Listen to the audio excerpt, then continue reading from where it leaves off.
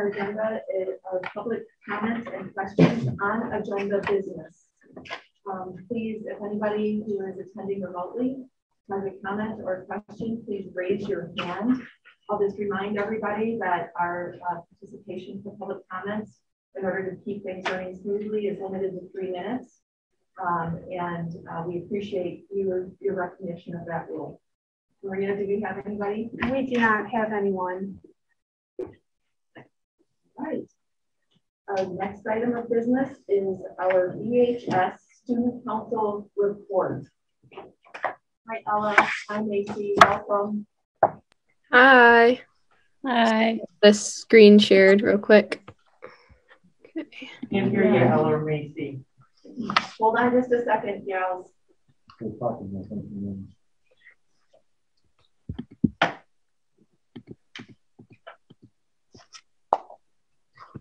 Is better? Ella, try and say something. Uh, hi, guys. Hope you can hear me. Ella? Yeah, can you hear me?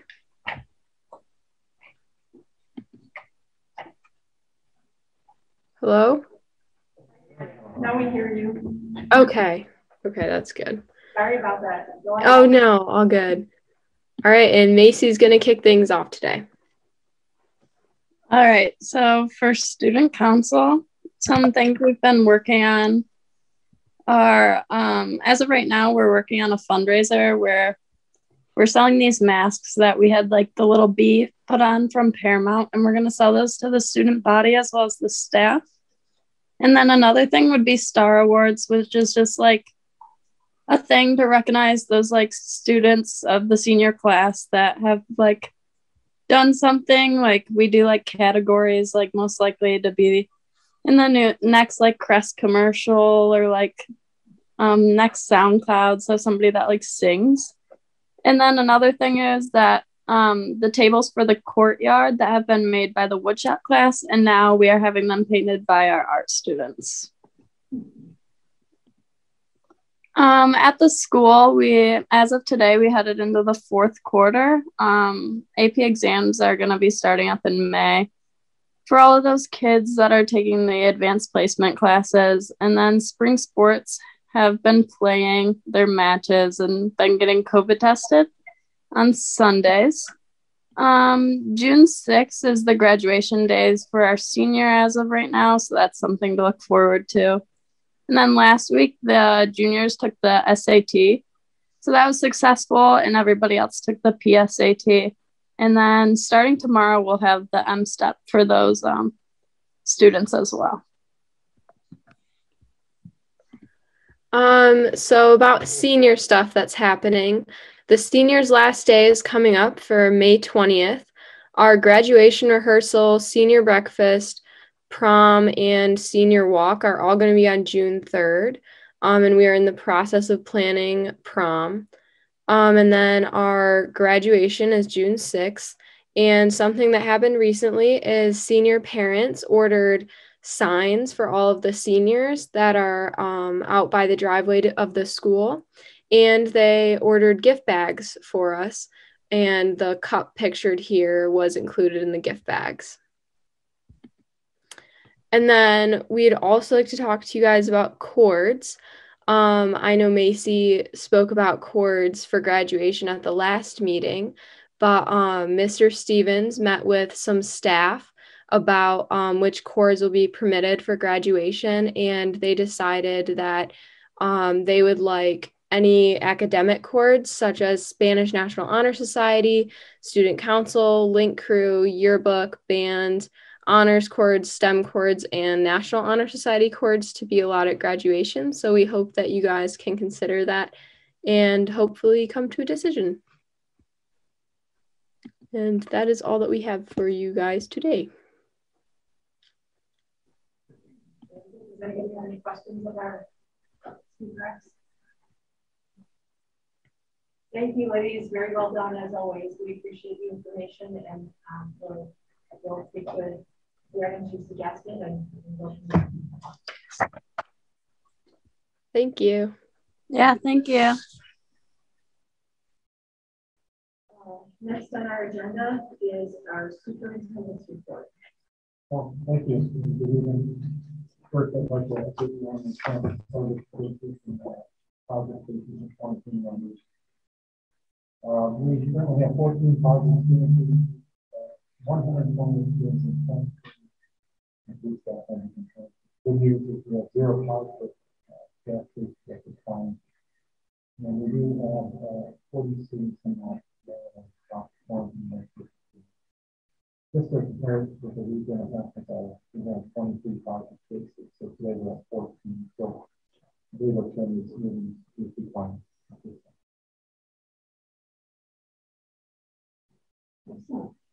Does anybody have any questions regarding? Thank you for all the work, both you and the staff and everybody's been doing. As you say, we've been able to staff, sounds like they've been able to stay negative. And I think you're about to get down to keep our students safe, and good, Jen. Thank you. And uh, appreciation goes out to our um, everybody, of course, but something new in our process, of course, is the, the testing and coming off of spring break and having to hit the ground running on that Monday with the testing procedures, organizing it, understanding the proper procedures to make sure they go through it, it's compliant. Um, and then moving toward the, the weekend, the weekly Sunday testing. Um, Chris and, and many other um, administrators, staff, volunteers, it's taken a lot more than people may realize at first blush. Not that you wouldn't consider it, but it's taken a lot to really, it's quite an undertaking. So I, I uh, echo Diane's sentiment, but I really want to give a shout out to everybody who's involved in that um, initiative because obviously, yet again, it's something new to our year and had to, you know, move like this, respond quickly, lots of compliance matters, lots of details. So thank you to everybody who's involved, from volunteers all the way to Chris and, and everyone else in the central office for supporting that. Thank you. The, uh, and then I just want to update you where we're at in the process of uh, potential following November.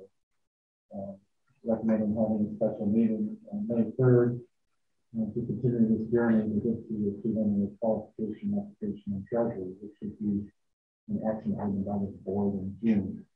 Uh, we have to maybe you know, construction managers and uh, on uh, May 3rd and potentially approving at the May 17th regular meeting.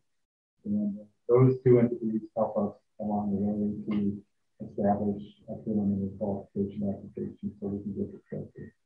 So that would be a uh, part of the 3rd meeting, along with um, strategies for communication with the parents ongoing and uh, refining and looking at the bond scope. So May 3rd will be an uh, that will have uh, a lot of work to do in preparation for potential bond.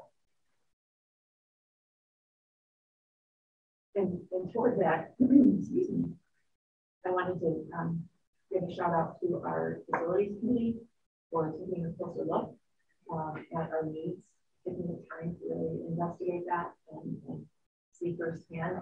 Very much appreciated by the board, by the community, um, everyone, and uh, that is really going to help inform the scope that we're going to take it from. It, you know, going in further detail, really get into that um, during the, the May 3rd meeting, but that's, that's going to be huge.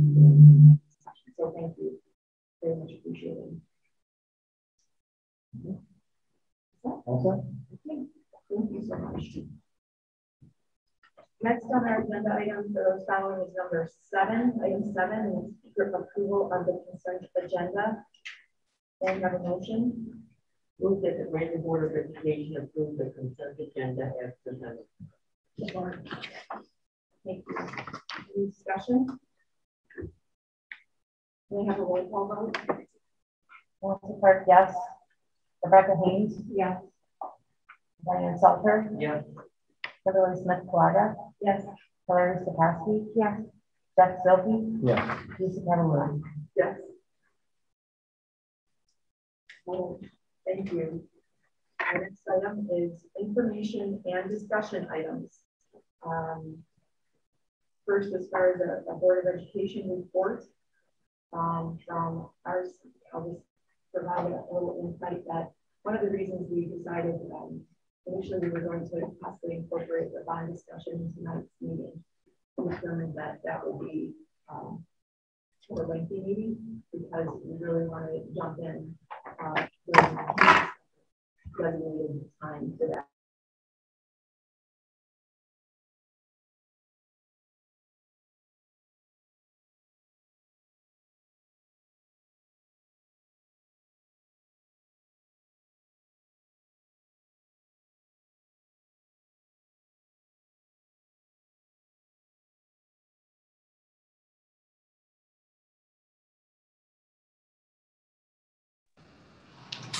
And now we can move on to the finance report. Hi, good evening. Um, the first thing on the agenda is to, uh, discuss our bond refunding. As you know, you did approve a resolution to refund the school bond loan fund. We had some information a couple weeks ago that was to our benefit to explore not only refunding the, um, school bond loan fund, but to refund a portion of the, um, two thousand sixteen refunder, which was originally the two thousand six bond. By doing this, we can increase our bonding capacity a little over five million, which is a without, still with a no, no increase, so that's good news. Um, there's really no downside to doing this. It's, um, we're, we're just combining to, now our bond issue is going to be not to exceed about fifty-three million. We think it'll be a little bit less than that, but that the resolution states at 53 and 53.5 million. Um, we will have the same timeline as we had prior. And, um, so basically it's, um, there's just, there's, there's no downside. This is a good thing for us. Are there any questions on that? I just have a question. It seems like we vote on this, is- is it once a year? How, or is it just as things happen? Or can we do this four or five times a year? I mean, Uh, well, we've done a few of them. Yeah, Yes. yeah. Fair question, yeah. Yeah, we um have the, well, a few years ago, we were, we had the ability to do this like every nine years. So we had the two, or nineteen ninety-six bond here that was refunded in two thousand eight, and then we did it in two thousand eighteen. So there was a cycle, we're now refunding the refundings. So that's where we're at. Um, this particular one with the two thousand sixteen refunding, the rules changed, I think in like two thousand seventeen um, why we didn't discuss it or RJ didn't bring it up with us when we originally talked about refunding the school bond loan fund. Um, he just, um, he just didn't. So when he realized that these bonds were callable and a portion of them, again, the rules had changed. Um, we immediately jumped on the opportunity to discuss this with the board. And so we, we have done a lot of them. Primarily, the reason is interest rates have gone down. So they're lower this year than they were last year and the year before. And so every time we've done a refunder, we saved money. Um, with this one, we're looking at a savings of about, over the last several years, over $10 million to the taxpayers. Wow. So that's substantial. Yeah, that's all of the refunding combined. This particular one, um, just by adding the 2016 um, refunding, we're um, saving about 2 million, 2.2 million. So this is all just in the interest of saving, saving um, taxpayer money. So how do we get that message out there? Because that's a big one, I think. Yeah, yeah. mhm. Um, I'm sure we'll discuss it in our community forums, but. Yeah, yeah, I think if we can get that message out there. We can write a press release. Um, There's a variety of avenues we could take with that. Um, the original refunding that was approved with the resolution before was to save around eight hundred thousand to one million dollars. So combining this with the advanced refunding, now we're at two point two million dollars. So market conditions are favorable for Brandon to do this, and it's something that we should let the taxpayers know.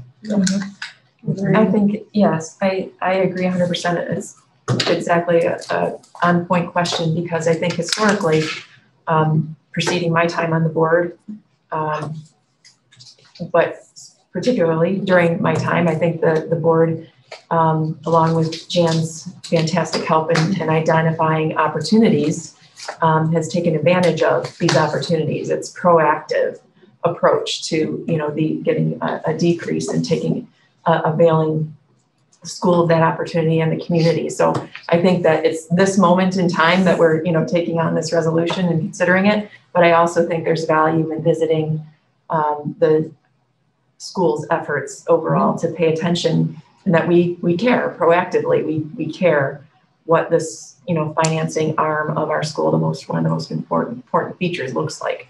So I I think we need to focus on some next steps in response to Kim's question. Happy to help with any ideas or legwork, let me know. Okay, thank you. Yeah. Maybe part of the S committee, who knows? I'm sure it will be. Yeah. Yeah, I'm sure, but I think um, I agree hundred percent. Um, a lot of the yes committee work, as I understand the, you know, project management timeline that we'll most likely be tracking. Perhaps we want to get the message out a little bit earlier than what Mhm. the activity Oh, there okay. might, might be. I- Great idea. I love it. I'm It all just- ties together, but it really is about augmenting that yes committee with some of the great things that you've been on top of for, I mean, your entire time here. Forever, yeah. So, and, and I genuinely say that, so, Right. I mean, it's part of the big picture, so. And this is not news to sit on. Yeah, right, It's not news to right. sit on and wait. It's, let's shout it out right now. Yeah, All right. thank you. Point, yeah. Very good. Agreed. Very good. Um, Does every, anybody have any questions before we move on to um, the next topic under Jan's report? Does anybody have anything you'd like to discuss on that line item? Just to make sure we're, no, ma'am. okay, Great, thank you. thank you. Um, the next item that I'd like to discuss tonight, um, our ESSER funds. I think you're all aware of, it's in the news. We have three different series of ESSER funds. So I wanted to kind of put it together and give you an overview I'll and some details on ESSER funds, what it means to us, um, from the financial perspective, which it is all financial. But, um, so this Let's double Click here. There it is. Okay, so ESSER one, we received 190,356. That was approved um, last spring. That money was used for technology purchases, hotspots, everything technology related. Um, we've spent all that money. ESSER two was passed, I believe, in December. Um, and that funding primarily we're planning to use it for um, budget shortfalls, which encompasses a lot of things. Um, our balance is 862, 441. We have not spent any of that money. We're in the process of applying uh, to get approval to spend some of that money, but to date we have not. ESSER 3 is the newest one, passed a few weeks ago, and that's the biggest one. Um, our allocation is a million nine, one million nine thirty-six nine twenty. And um, again, we're primarily looking to use that for the next two or three years to cover budget shortfalls. A um, one thing of note with the ESSER 3 is that 20% of that allocation, or 387,384, must be used for uh, learning loss through evidence-based interventions such as summer learning, summer enrichment, extended day, after school, or extended school year programs. Uh, again, we have not even applied for that money. So our total ESSER funding funding from the government, two million nine eighty nine, just uh, shy of three million dollars. So these next few screens, I, I found these and I thought they were really kind of to put this whole ESSER in context. Um, which of the following is not an allowable use of ESSER funds? We're allowed to enlarge a gym, reinstate a pay raise, pay the fees for uh, vendors, pay for staff positions that would otherwise be cut due to enrollment declines, replenish the reserve fund. So the government, the federal government does not want us to use this money and just kind of build up our, our savings, so to speak. They want it to be used proactively. Um, and we can also use it to supply COVID tests.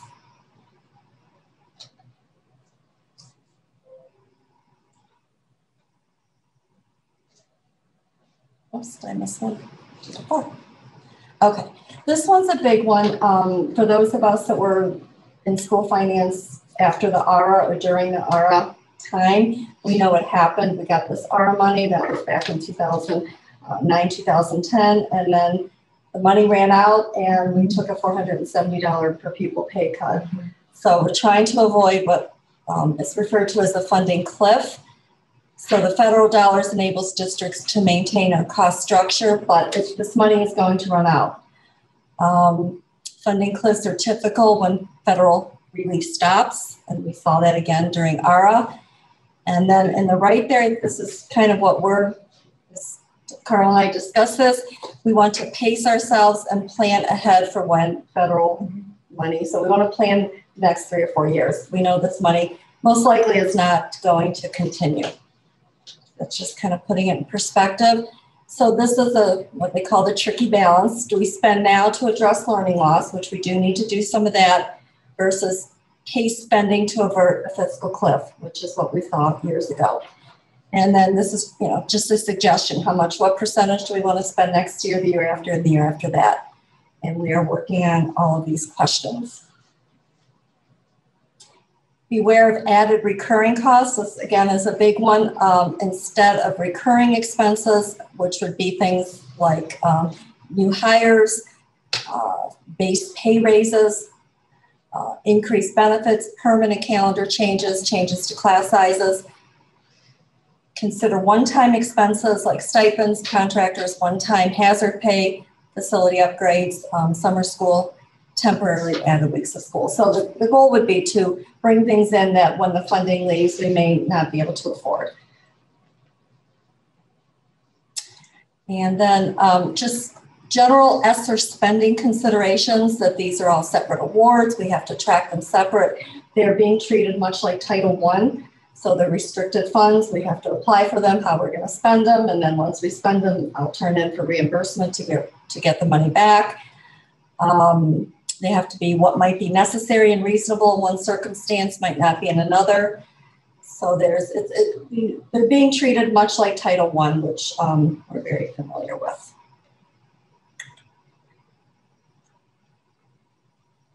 They can be spent on the same activities. Um, use of funds are very broad under all of the ESSER programs. Again, that's really important. So we're not tied in to having to spend it on one area. In a, in a minute, I'll show you some, some different areas. So we do have a lot of um, leeway on with the allowable use. But for our budget, we're going to have to probably go one direction a little bit more. Um, so let's talk about allowable uses.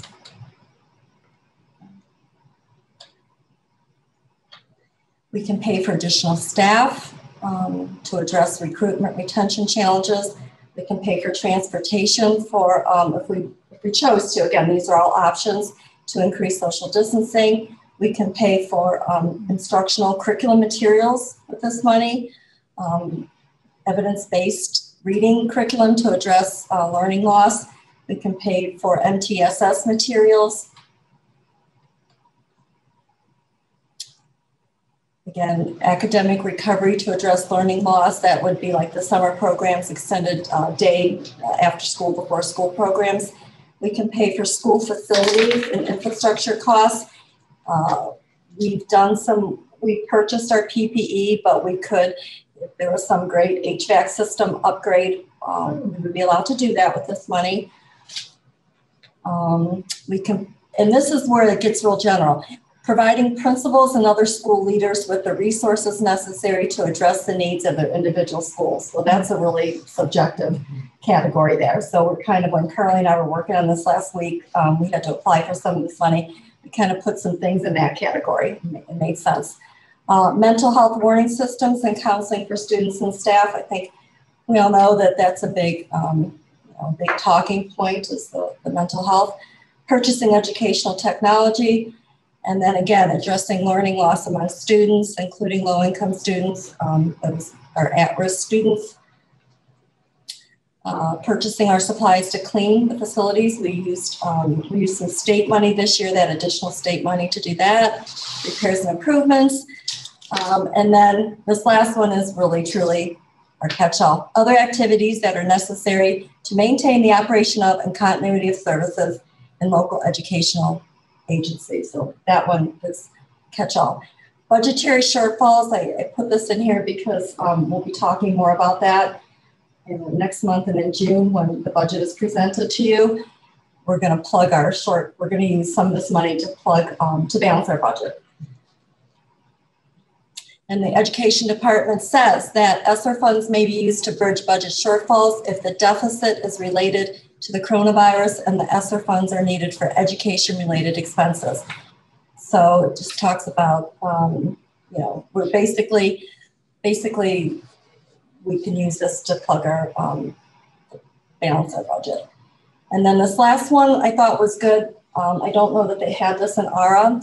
This is just maintenance of effort, the saying that the state cannot reduce our funding. They have to fund us at the levels like for um, fiscal year 22 next year. States must, this is the middle one, states must spend the same proportion of their state budgets on education as they did on average in 17, 18, 19.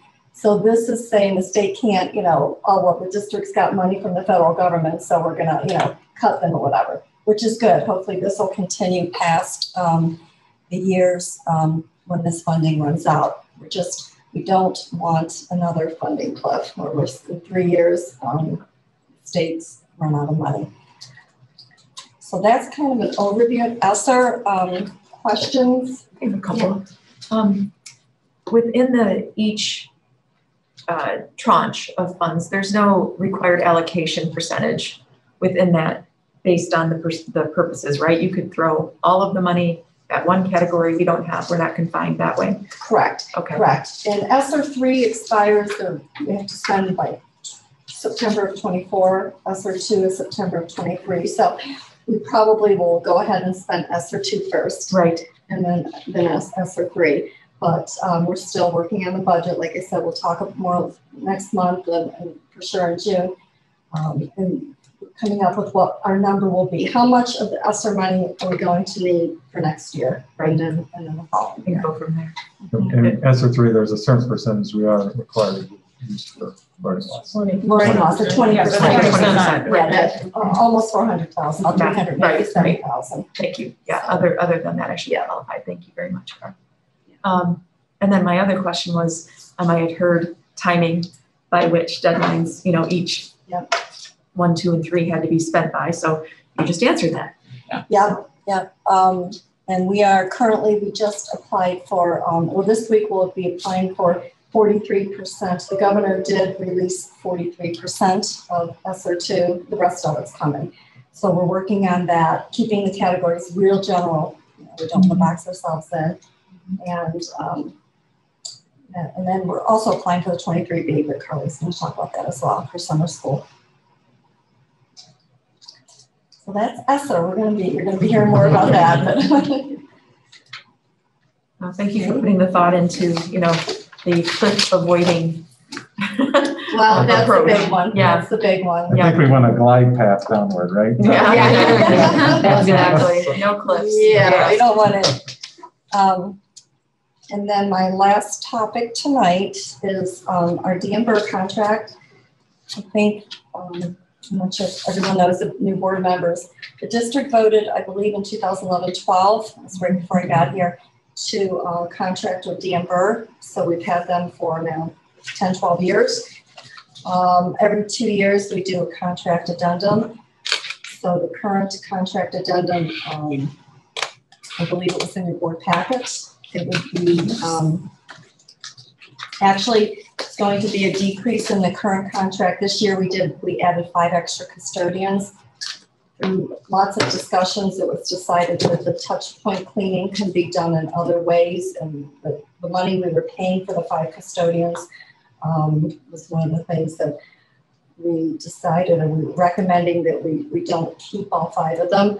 So we're going to give the, um, this current contract gives the current custodians a raise, which they haven't had in two years. They don't get one every year. Makes us comparable to surrounding districts. We looked at Holly and Davison and, you know, Lake Orion. So our wages are comparable or maybe even still slightly lower. Um, we're to do that and then we will still see a budget savings with this contract of hundred and thirty-three thousand nine sixteen. And that is mainly because we're reducing the number of custodians we have.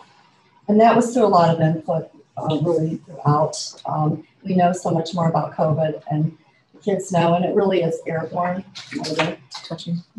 the touch point. Yeah, not that that wasn't valuable, but Of course. um, it did cost us, cost us quite a bit. So that's the Danber, it is a two-year extension. Um, any, any questions on that Danber contract? If we found the need to increase the personnel again, I'm assuming the contract has that ability with their, Yeah, we would do, we would do an addendum, addendum. um, and then add, like we did last summer, when the Right. board chose to add the five custodians, I think we did that last July. right? So it would be. So nothing has changed, our capability is retained. we would come to the board and get a board action to add that addendum for X cost, whatever it was, and then uh, Danber would, would hire those for us. Does anybody have any other questions regarding that line item? Thank you. Thank you so much for everything. Thank you. Very much appreciated. Thank you. Um, now we are moving on to eight C, which is our education report with Carly Stone.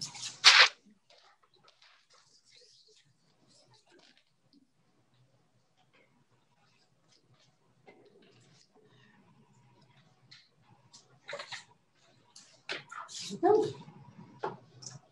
right, so in uh, typical fashion, to talk about what we've been, what we've accomplished, uh, what we're working on, and what we're looking forward to. Um, luckily, uh, Macy and Ella shared some of this for us earlier, which I very much so appreciate. But last month was March. We had a ton of really fun March um, is Reading Month celebrations. We had the drive-through book fair that Connie Babb put together at the iTech Center. I know my boys and I drove through there and picked out some great stuff and Clifford was there and all. Um, some really great celebrations from the schools um, with activities for students to do at home as well.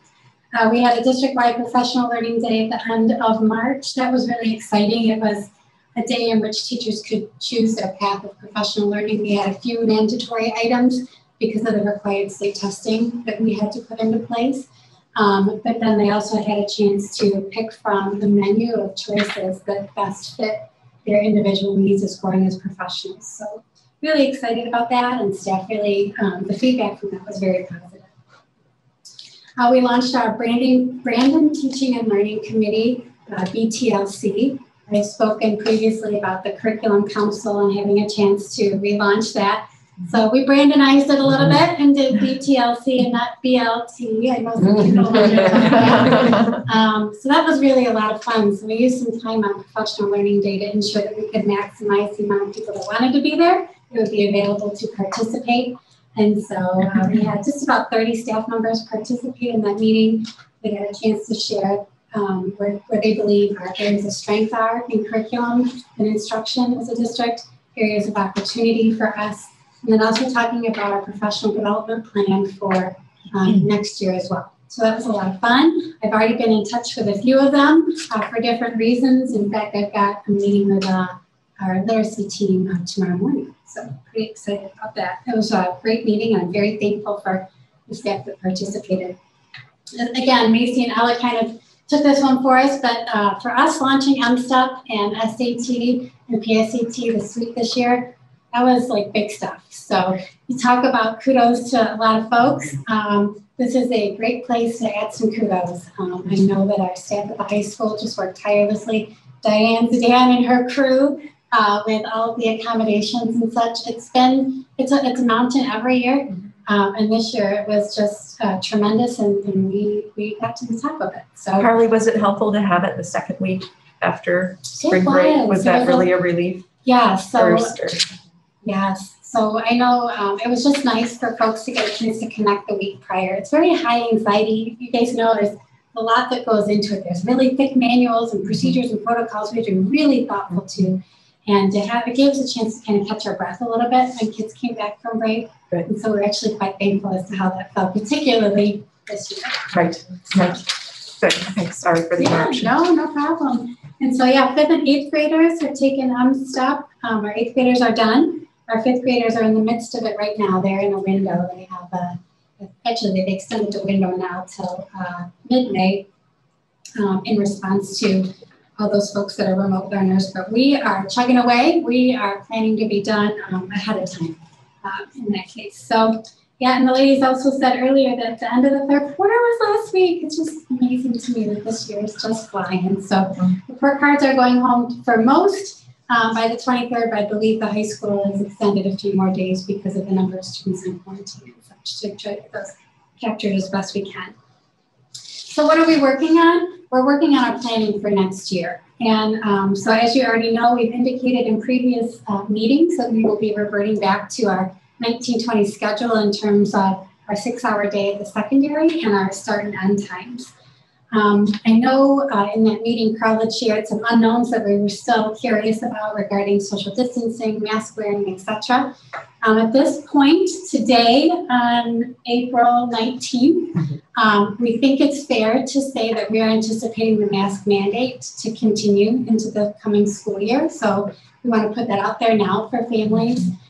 And uh, since we met last, the CDC changed their guidance for distancing in buildings. Right now, you guys know we are uh, we follow the six foot spacing, um, and we are looking to transition to the recommended three foot because right now we are exceeding that expectation with our six feet. So, um, come the fall, we are anticipating the three foot spacing and mask wearing. And we know those are two really important factors to families, so we wanted to get that information out as soon as we could. So the reason we share that is because we need to ask our families what their platform selection is going to be for next school year in order to help us really cement our plans as best we can uh, for the fall. So what that timeline looks like um, is that tomorrow we have a communication ready to go out to our families indicating that um, we would like them to let us know if they would like either the Brandon Learn From Home experience or to participate in our Summit Virtual Academy for the 21-22 school year. The deadline for that would be May 14th. Um, that is a Friday. Um, and by having that on May 14th, that still gives us a month or so with our own staff, our teaching staff here um, that can help us with our planning for the coming school year. And then it also gives us uh, quite a bit of time as administrators um, to work on scheduling and all of the, all of the logistics that come along with. Um, so to help families in that decision making, uh, we did want to provide a community forum, a parent forum, where we'll not just talk about the Brandon Learn from Home experience for the coming school year, we'll also just talk about the learning experience for the coming school year. Uh, we know we have families that are anxious to come back in person, but there are some sticking points such as mask wearing or distancing, etc. We want to give them a chance to question and answer uh, with not just ourselves, but our building administrators um, as well. And uh, Mr. Dave White will also have some information about Learn From Home for next year um, and what, uh, what we anticipate that looking like as well. So those dates, it's a Tuesday, April 27. Um, we will have an elementary meeting first, and we will have a second, a secondary one at 6.30. And those meetings will be recorded via Zoom. So if any family member is not able to participate on those days, we will put those recordings up on our website those will be available to them all the way up until uh, May 14th. And of course, all of us are happy to answer any questions for any, any families between them as well. Yes. Is that all virtual forum though anyway? I mean, it's virtual or is there going to be in person? It would be, in, it would be virtual. It would be all virtual, all recorded. Yes. So like you said, the parents can catch up later if they're Yes. unable to attend. Okay, perfect. Thank you. Yeah, no worries. Yeah. So, and just know if a family doesn't respond to the survey, because we know we have many families here in the district, it would be defaulted then to in-person um, instruction then for the fall. So if you are you know, wanting, really seeking the Learn From Home experience or our Summit Virtual Academy, it's really, really important that we capture that information by uh, May 14th. So we really appreciate that for our own planning purposes on our end. Any questions on that before? I- Yeah. So I wasn't being disrespectful in looking at my phone for text message. I was looking at the calendar. That's in three weeks. Yes. As a parent, I don't feel comfortable with that amount of time frame. Our school year's not even over with. And I feel that I, I believe, at at least in my house and my parents, like, you know, you have your end of June. I know June is way too, way too late, but kind of the end of May is what I just kind of thought in the back of my head right now. You have Memorial Day, we come back, we come back. Memorial Day is like the last like hurrah, and then you're basically you're done. Like we just we go through the motions for like those few days in June, right? Like we're finishing things up, we're gearing up, we're doing graduation, we're kind of commencing these school years over with. So I feel that as a parent, um, three weeks to me, 21 days. Uh, as a parent of two, I couldn't imagine if I had a parent of three or four or five or whatever, whatever people's situations are in, where we're giving them enough time to make a huge decision just because in the past we have had parents that wanted to get in and they didn't have they didn't have enough time to decide that type of thing. So I would like us to visit the thought process of pushing that back a couple weeks to around the end of May. Just because it gives everyone a good enough time to talk to their spouses or guardians or whoever it is that's taking care of our children in the district truly sit down with their kids and talk about it. Sit down with, if there's anybody like in Diane's team that needs to talk about with special needs, mental health, the whole gamut, and really give more than three weeks. Because I will tell you, as a parent, I, I, would not be able to make a decision for you in three weeks with my two. Um, so that's just my personal opinion, but I just wanted to at least articulate that. So no, we well, welcome that. that. Thank you very much. I, I, will tell you, we've been wrestling with the timeline yeah. on our end. Um, we've had quite a few conversations about it here, and um, you know, I think it's definitely open. We can have more more dialogue. Just know that our driving factors. We're just trying to be cognizant mm-hmm. of um, being fair to um, our staff um, not just our teachers and their possible placements for the coming school year and ensuring that we had the right placements and the right people in the right in the right places, um, but also um, what it takes to make it happen. Our high school counselors, our administrative staff, um, and, and those are everything you brought up, Melissa, is very fair points, and we, we've definitely talked about those, and we appreciate you bringing them up, and we're happy to continue to have the conversation, uh, have the conversation about. So how, um, so once a parent commits one way or the other, yeah. we're locked in, like this year, I know that, you know, everybody made a decision sure. and then it was based on if, you know, they let people decide something different after first card marking, I don't remember yeah, the whole yeah, timeline, first, whatever, semester, card marking. And then, and then they were kind of locked in unless someone else sure. backed out. So what does that look like? Yeah, great. These are all conversations we're having right now. So, um, one, uh, in our conversation, we talked about semester being a key opportunity for families to make a change should they want to do so um, next school year. So, obviously, our, our, our struggle too, Melissa, is that we know that other districts around us have already had their families make commitments. And Oxford had to make theirs, I think, several weeks ago. We're trying to be thoughtful and give our families more time and play it out a little bit longer while still giving us some grace to kind of make all the magic happen behind the scenes. Um, we do recognize that things very well could change over the summer. Um, we are not naive to that. We've lived, we've lived that life. And should circumstances change for a family, should something happen in which um, it really changes um, their particular choice, we will always be open and thoughtful to that. Um, but it is really important for us in our own planning purposes as a whole, trying to get the collective majority, trying to understand where that falls. Um, it's really beneficial to us to ensure that we're ready to go solid in the fall for when students return. Sure. So, but we are looking at a window of semester transition should a family want to make a change uh, next year. That's what's currently being discussed. Is that even feasible with staffing? I mean, is it something that is realistically feasible to be able to do. And that's what we're discussing. you got it. Yeah. We, we think we think so uh, with with the, the spacing, but it really is going to be dependent on the, the amount of students that we have in the virtual program. Right. So uh, to answer that question today, um, we're thinking about it. We're thinking about that question, but in reality, we, we really have to have a measurement of how many kids we have in some and, and Brandon learn from home. And the feasibility of that depends on that number. That's a great question, though. And I'm assuming it's going to be the same at that uh, point too. So if students decide to change that semester, they'll be going to go in person, let's say from Brandon Learn from Home. They'll be going back to a school with a different teacher and a different classroom like this year. That's right. That's how we currently see it. Yeah, yeah, right. And one last thought, uh, uh, this kind of harkens back to a prior topic, I apologize, but the, the numbers, right? It's all about the numbers and Yes. of space. So do we have a, a feel for what our spacing does look like at a three foot range if we, dependent on the number that we may anticipate retur- being in, continuing on, or being in for the first time next year face to face?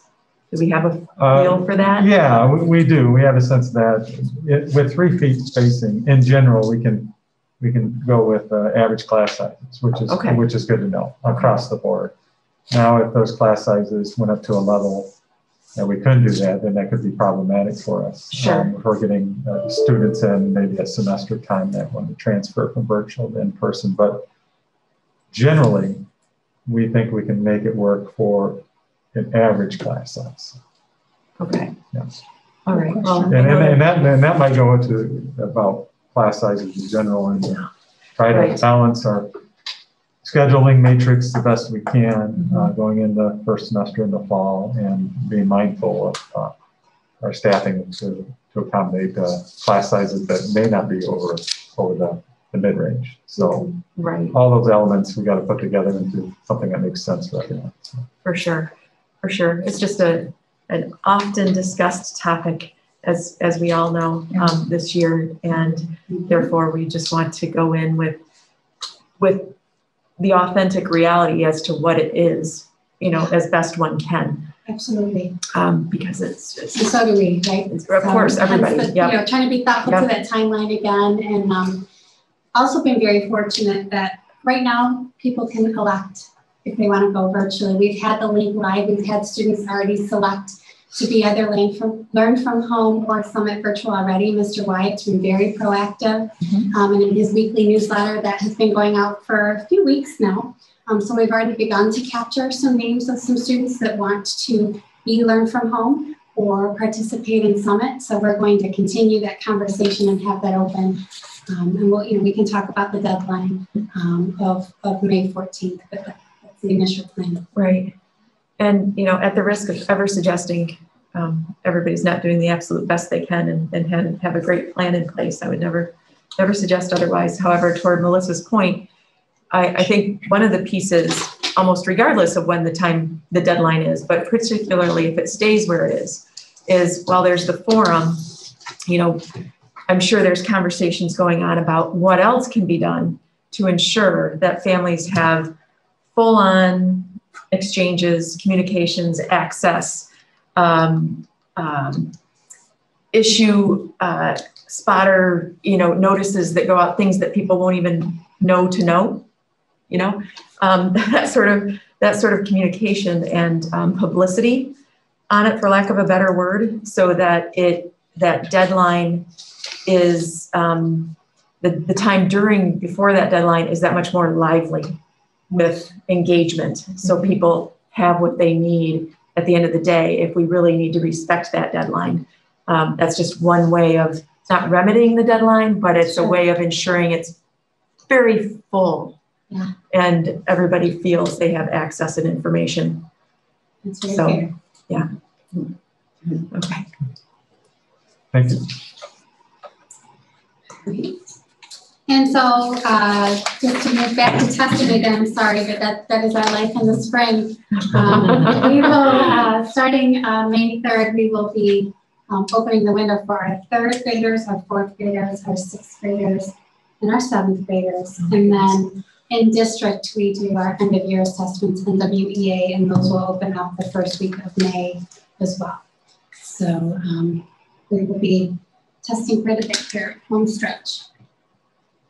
So what are we looking forward to? Jan mentioned this earlier, um, you know, recognizing there are additional funding opportunities out there um, with the ESSER funds and also 23B.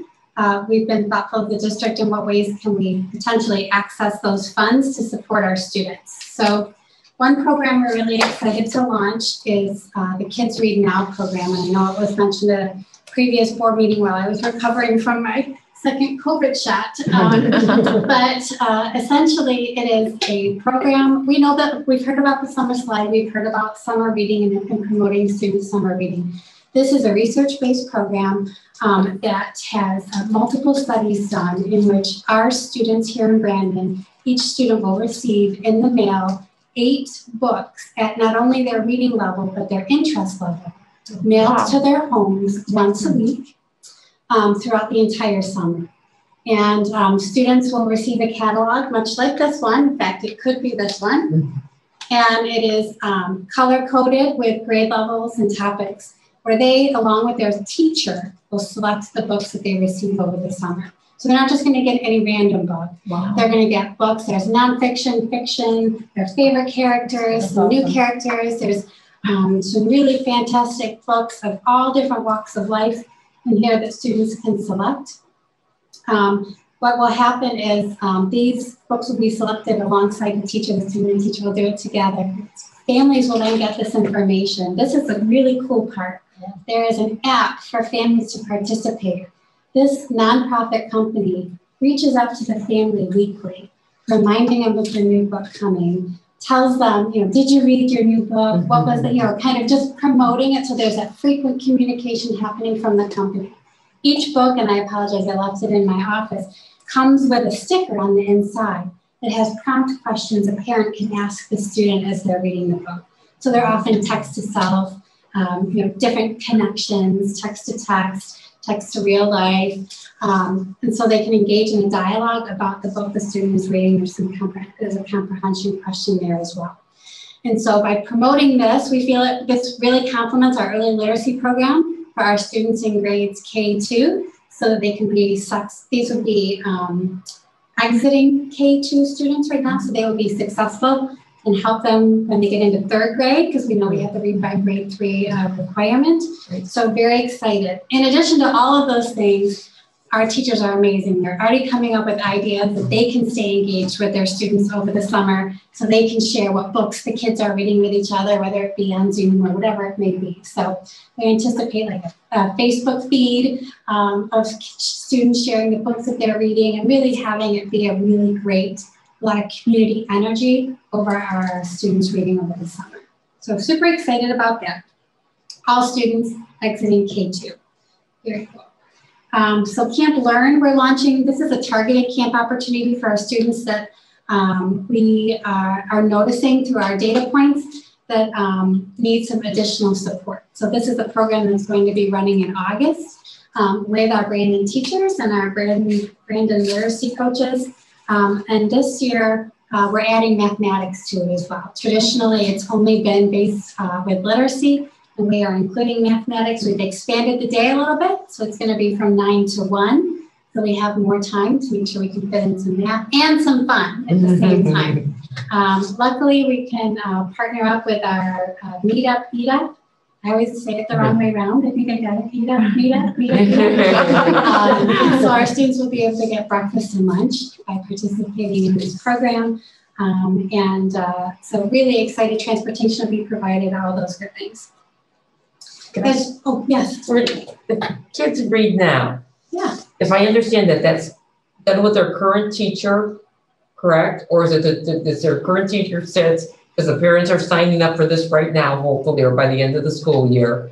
And pretty much the interaction is going to be all virtual in the summer, and it's going to be from home. Hopefully, parent encouragement plus if they get the app and the teachers. Yeah. So they they have eight weeks to read, and then it would be great to go start on August third, and that would be in person and and or virtual, or how's uh, the three-week program. Thank you for asking that question. I did not include it. So it's in person. Okay, that would be in person. That, that, that, that program is in person. The books that the students will get to select, they're actually going to select, fingers crossed, by the end of this week. Oh, perfect. So that they can be ready. They will get their first book before school is out. Awesome. In the mail. And then they will get a book each week thereafter. And then they get a blank book with a bunch of pictures and the kids get to write a story about the pictures that they see. So they get to incorporate some writing as well. So what's really great is when the parents want to take the kids on that family trip in the car, they will have, if they wait till week two, there'll be two books minimum to Yes. read. Yep. And it'll be something as you sit around the campfire or out on the beach or whatever that you could talk about. Yeah. And it'd be great, like I say, for to get those kids reading. And if the child is going to grandma's house, um, they will get Oh, communication from this uh, company here in the Mm. next few weeks verifying their address. So should they be going to grandma's for the summer, they can change the address to make sure the books go to grandma. Wow. Um, so it's really a unique That program. so cool. Um, many districts around us have utilized it in years past. I'm excited to, to have, to add Brandon to the list. Um, I think it's going to be really, uh, energizing for our community over the summer. Kids are gonna have lots of really fun books they can read on their own. Not all of us parents are literate, I was a math and science teacher, so, um, although I was a teacher, I didn't teach reading.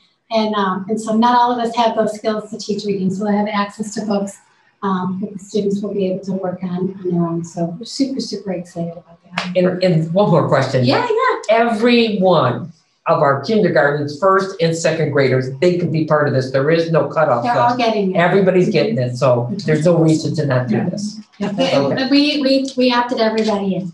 Good. Everybody ca- exiting K two. So Okay, very perfect. Does everybody want to see the expression on my high schooler's face is what I suggest we participate in this. Right. I'll take, I'll take pictures. We won't- That's what I was just It'll thinking. be like, I mean, so K3 awesome. program. We won't have the It only same. goes K three, but I'm thinking, I mean, it's just really fun. It's just awesome. It's amazing. incredible. I love it. I'm so excited excited. about it. I like that. I'm so excited. I'm This is excited. like perfect. Good stuff. So Yeah.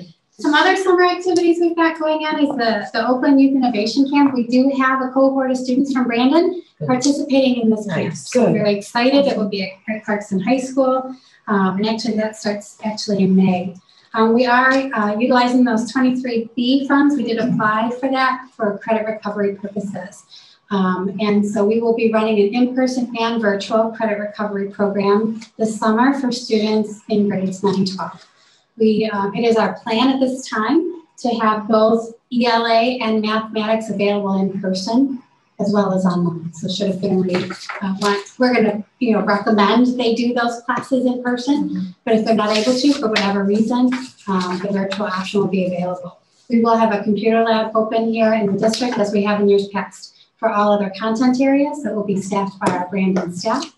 Um, the at-risk counselor that was brought on last uh, board meeting will be running this program for us at the high school. So he'll be overseeing the students that are participating. It makes sense. He's our at-risk counselor. He'll be working with our students that are currently behind in credit. So we're very excited about that. That information will be coming out in the next couple of weeks. Um, everything is getting finalized at this time. So very excited about that. You can anticipate the Fourth of July holiday is always funky in there with the timing. Yeah. Um, so it's very likely that we're going to launch that program the, the first week after school gets out uh, for three weeks with a week off during the Fourth of July break. So, but there's always that virtual option as well for those that are not able to participate in person. It's half a day in the morning. And again, the students, we're actually going to house it at Brandon Middle School. Um, and they'll be able to get access again to free breakfast and free lunch for those that participate. So trying to be strategic about the resources that we have to best serve our students. And then we're not done yet. We're not done coming up with some summer programs um, because it's just, we're constantly evolving and with COVID times and trying to make it all work. Um, so some things you can see that have happened historically through community ed, and I don't want to take Jan's thunder. I know there's the GRASP program um, that we've done historically for students K-8. Um, that's going to continue. Camp Hawk will be available um, with some use of some vendors and such as well. Um, and I know there'll be summer tutoring available as well through community ed. So we're looking forward to getting all of those pieces finalized. We feel we're a little behind just because of all the COVID stuff and, and trying to figure out what can we run, what can't we run. And everybody feels that same way across the county. Pretty excited to be able to present these items uh, for you this evening, knowing that uh, we know we have more to come and that uh, you can look forward to seeing those in the next few weeks as well. Yeah, we're working on adding, there'll be um, several camps, so we're just kind of working on that. There'll be science and um, Bob will do a um, coding camp, which is more popular, so more to come on that. We're working Challenge Island, which is a big vendor as well. So, so, yeah, Yeah. some science and uh, STEM type camps to in the blanks there. Fingers crossed, we, we applied for 23B funds for those. We'll see if, if those are approved, if those being Yeah. innovative and um, STEM We hope so, then we wouldn't have to charge. In the past, we've charged when it's Community Ed, we charge tuition for those camps, but if we get, if we get the uh, 23B money, we'll be able to offer that, um, no cost. That would be great. Keep you posted on that. Amazing. And then lastly, just my last slide is um, kindergarten enrollment is open. Um, we we're looking, we're excited. We keep we keep uh, looking at how many kindergartners we're looking forward to having next year. And just a reminder, all families that um, now is the time to, to get them enrolled. So that's my report this evening. Fantastic. Everything that you listed, your was just packed with one exciting thing to the next. It's, I know there's still so many conversations going on, as you said, and so many things to figure out, but as, as, uh, that is the platform, it's amazing. Yeah. Absolutely amazing. Thank you to you and the team, everybody for the hard work on that. Because figuring it out in a, a, a more routine summer is, is a full plate enough, but figuring it out now, that much more difficult. So thank you. Thank you to everybody who's involved with that. Does anybody have any questions of Carly or comments? Um, just real quick on kindergarten enrollment. So I know the open houses are kind of pushed back a little later than normal, right? So will, after a parent enrolls, will they get an email for their homeschool saying when that is? Okay, Yes. Great. Mhm. And anyone who's already in preschool, um, they've already enrolled, it's just gonna be rolled over to our school. I'll bet you'll um, in summer, whenever they have hopefully for. I just have one question I thought of. Um, perhaps I'm just not in the, that space anymore, but what do we have going out for enrollment, um, branding and, and cultivating all of our younger families? Yeah, well, we have uh, social media ads going out. Um, so we, we've had some opportunities by uh, email and letter. Uh, we've also um, had a postcard that went out last week. Uh, we have one more specific for uh, kindergarten and preschool going out first week in May. So you got one postcard in the mail. You're probably going to get another one here in a few weeks talking specifically about kindergarten enrollment. So some marketing, some branding for this. Currently, we're at 157 kindergartners for next year. That includes uh, JK. Uh, we're this this current year we had 185. So Okay. we're about on the mark where we were last year at this time. Okay. Very good. Very good. Okay, thank you for You're that. welcome. Just wanted to touch base. Any other questions or comments? I just wanted to circle back real quick. 'cause I know in your presentation, you said that you wanted to send an email out. You wanted to send an email out tomorrow. I'm assuming that you guys are gonna go back to the drawing board and, or is that email going out tomorrow?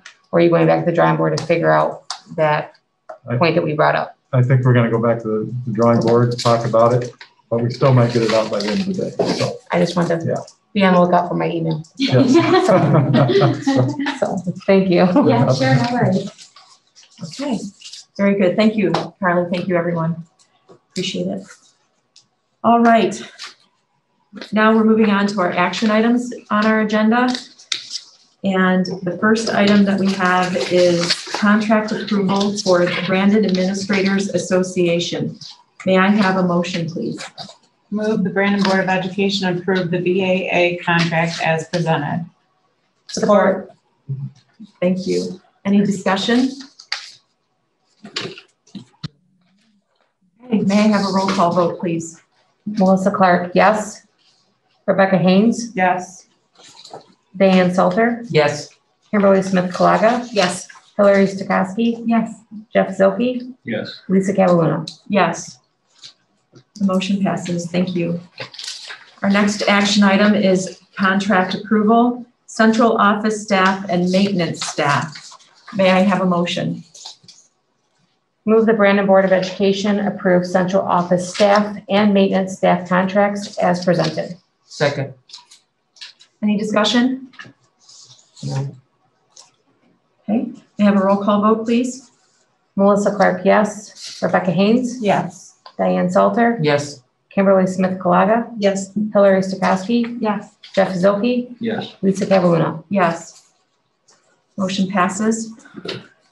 Our next item is the approval of the DM Burr contract extension. May I have a motion? Move the Brandon Board of Education approve the DM Berg contract extension as presented. Support. Any discussion? All right, may I have a roll call? Melissa Clark, yes. Rebecca Haynes? Yes. Diane Salter? Yes. Kimberly Smith Colaga? Yes. Hillary Stokowski? Yes. Jeff Zilke? Yes. Lisa Cataluna? Yes. Motion passes. Next, we have our approval of the extended COVID-19 continuity of learning plan. May I have a motion? Move the Brandon Board of Education approve the extended COVID-19 continuity plan as presented. Second. Any discussion? All right, roll call vote, please. Melissa Clark, yes. Rebecca Haynes? Yes. Diane Salter? Yes. Kimberly Smith Colaga? Yes. Hillary Stokowski? Yes. Jeff Zilke? Yes. Lisa Cataluna? Yes. Thank you. Motion passes. Okay, our next item is the approval of the BHS Spanish class overnight trip. Move- So, Go ahead. Move that the Brandon Board of Education approve the high school Spanish class overnight trip to Chicago, March tenth through the eleventh, twenty twenty-two, as presented. Support. all right, and for part of our discussion, we have a guest speaker. So exciting. Moving process of new. Hi, my name is Lori Marino. I'm one of the Spanish teachers at the high school. Uh, thank you for letting me come tonight. Uh, we have been, um, we were sad last year. We had a Puerto Rico trip planned for um, June of 2020, and it was canceled due to COVID, and we opted not to reschedule because we weren't sure how long COVID would last, and um, we didn't want our families having so much money tied up in a company. So we put that on the back burner. I got um, groups of students now who were signed up for this Puerto Rico trip. And they were just, they're just so motivated and excited and they love learning they love culture. And I wanted to offer them something, but an overseas trip at this point just didn't seem feasible until we get a better handle on COVID. So I did some research and in Chicago, there seems to be quite a few things um, that would fit what we're doing in class and just support our cultural studies. I don't know, did you all get a itinerary in here? So you probably got to see. So there's some dining, some dancing, some art museums. Um, Pilsen Village, I never even heard of before that. Book House on Mango Street, if you're familiar with that. Um, some of the younger grades will read excerpts from it. I know Mr. Martin in his AP English class, that's an option. And I've even looked at possibly um, seeing if we could do that book in Spanish year as well. But um, they have murals where they'll go through and talk you through them. There's a, a little Mexican art museum and village. So it just would provide kids with two days. It would be one night um, with just something to look forward to. I picked March because it's after the holidays and snow days and before all the crazy testing and seniors leave. So it seemed like a good time. And we do a project in my Spanish 4 class. Um, they, they research and present on artists from the Spanish speaking world. So this would fall after they've done their research. So I thought it would be more meaningful then. I'm presenting to you now instead of in the fall because I am cognizant that for some families they want students to be able to participate, but it is, it's about a $500 trip. And this would allow families to enroll and have um, monthly payments of about $60 a month. So that would be more doable than hitting them in September with, with a larger sum. I talked with Jan a little bit too. Um, one of the things we're obviously looking at would be security with making this kind of an investment. If you know COVID got worse, for some reason the district didn't feel it was safe for students to go, so um, there is a $36 protection fee that we're rolling into the cost that everybody will just pay. If for any reason the district, the board, um, Spanish teachers, individual parents, anybody feels that this is, you know, something that isn't safe or whatnot, the absolute most anybody's gonna lose is thirty-six dollars. That's like the day before. I mean, they can right up until we leave. So yeah, so I felt like I mean, we you got your money, you got two girls, but you got, you got our money back. But it was like ten weeks of me just. Um, and they learned a lot too. These travel companies have learned a lot too. Like they obviously want to keep their businesses going and be reputable. And World Strides is the provider for this trip, and they do the DC trip and Puerto Rico trip and the choir trip. So they've they've really been a good provider for us. So that's what I'm asking. I'm asking for approval to be able to offer this trip to students. It would be students in Spanish, three, four, and five initially, and then I just need to kind of gauge the numbers and um, depending on if we need to fill a bus, we could open it up to Spanish twos, or maybe we have so many threes, fours, and fives that we have a second bus, and then we could take, you know, fill that bus into two groups of students. Great idea. Do you have any questions for me? Sure. I'm excited to see it. I'm I'm excited to see a trip. Thank you for finding a solution, you know, the opportunity for them and being so considerate about it and, and really just doing something that's doable and, you know, just thank you for that. Oh, thank you. Okay, thank you very much. It's good. Really appreciate the information you coming in to share with us about it. And appreciate all your efforts every year, because I know, I know you were, you were sweating it last spring. It was tough. It was tough, I know. And so thank you for caring so much. I appreciate it. Does anybody have any other question or comment on this topic? All right, it looks like we're ready for a a roll call vote, please. Melissa Clark, yes. Rebecca Haynes? Yes.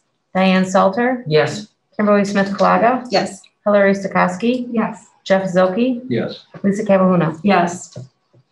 Motion passes.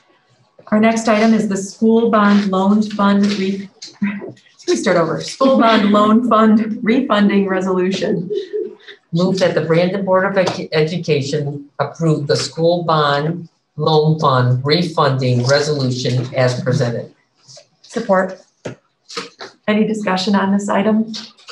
No. All right, roll call. Melissa Clark, yes. Rebecca Haynes? Yes. Diane Salter? Yes. Kimberly Smith Colaga? Yes. Hillary Stokowski? Yes. Jeff Zilke? Yes. Lisa Kavaluna? Yes. Thank you.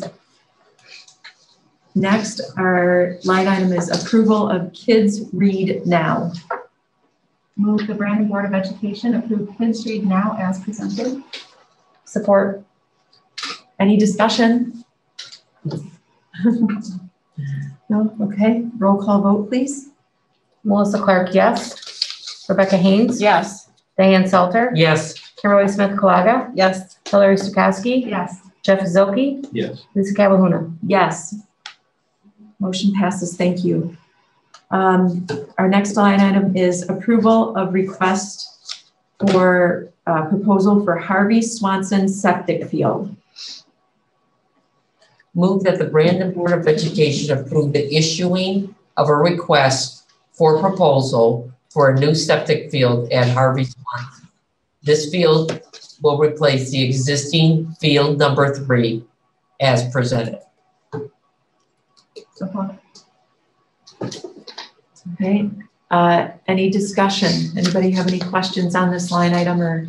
And this was mostly discussed last month, correct? Yeah, it's the additional last field. To- Okay. So it's the adding of the other one. Yes, it's Okay. adding the, and it's the one by the ball diamond. And, and we are waiting for approval from the, um, county. So once we get that, we'll issue the RFP, but we- we're hoping it's sooner rather than later. But, uh, Mark's been talking to them and so we may not issue this immediately. Yes. All right, very good. Um, Without further discussion, uh, may I have a roll call? Melissa Clark, yes. Rebecca Haynes? Yes. Diane Salter? Yes. Kimberly Smith Colaga? Yes. Hillary Stokowski? Yes. Jeff Zilke? Yes. Lisa Kavaluna? Yes. Our next line item is our Oakland County Road Commission lawsuit resolution of claims. Move the Brandon Board of Education approve settlement of Oakland County Road Commission lawsuit as presented. Can I have support? Support. Any discussion? This has to do with the roundabout area, right? Yep, it has to do with the, a roundabout um, whereby many years ago, uh, apparently, the district did own a piece of property in uh, the county's efforts to acquire all the bits of pieces of property it takes to create um, this traffic pattern. They um, brought a complaint, basically, you know, to quiet title in essence. Make sure everybody who has a say in any of those pieces is good. good to go. Mm-hmm. And with that, we, even though it's been some time, the school district's name came up in the title search, along with many others, I'm sure, and therefore was brought into this suit. I mean, we're not being sued for anything as much as we're just trying to have our word be heard, express our interest in this property if we actually had one. We're assured by our counsel after um, also conducting, you know, analyzing the title that we do not have an interest. So by moving forward with signing this um, consent, uh, we are removing ourselves from the case. Does that make sense? Yeah. Yeah. Okay. So roll call vote. Melissa Clark, yes. Rebecca Haynes? Yes. Diane Salter? Yes. Kimberly Smith Colaga? Yes. Hillary Stokowski? Yes. Jeff Zilke? Yes. Lisa Calhoun? Yes. All right, motion passes.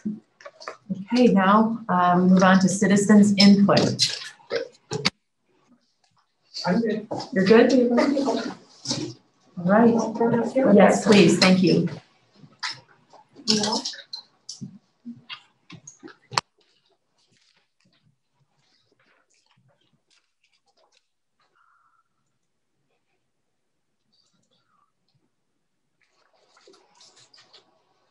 We do not have any comments. Thank you. All right, and with that, we are adjourned. That's all right. Thank you. Thank you, everyone.